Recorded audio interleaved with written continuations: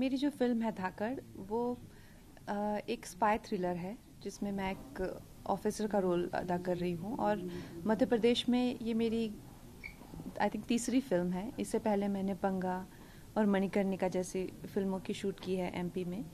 और और मेरे लिए यहाँ आना बार बार आना, वापस आना एक बहुत ज़्यादा सौभाग्य की बात है, क्योंकि यहाँ पे जिस तरह जितना खूबसूरत ये शहर है भोपाल और महेश्वरम में भी मैंने बहुत शूट किया है।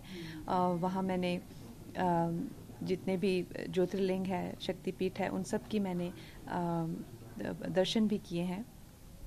मेरे लिए बहुत सौभाग्य की बात है और आज और भी ज़्यादा मेरे लिए सौभाग्यशाली दिन है कि हम लोग मामा जी को भी मिल पाए और उन्होंने जिस तरह जिस तरह से हमारा आदर किया और जिस तरह से हमारे साथ भेंट की हमारा प्रोत्साहन किया आ, मुझे मिलकर ऐसा लगा जैसे अपने किसी परिवार के ही सदस्य से मिल रहे हैं।